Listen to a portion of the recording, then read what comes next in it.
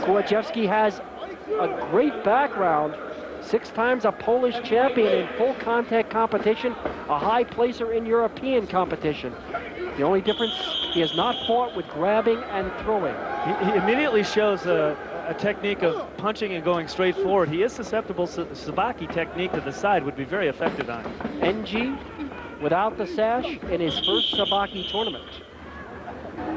Kucharzewski looks much the pressure here. But can NG pull it out? We've seen matches won in the final seconds. Knee in the body, and then a grab of the leg by Kucharzewski scoring both times, but not a clean takedown.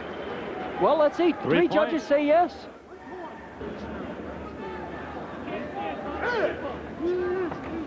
Kucharzewski's family, for economic reasons, left That should be at least a point for turning away. And turning away, it is a point. Uh, one judge says three points, two judges say three points. They give him one point.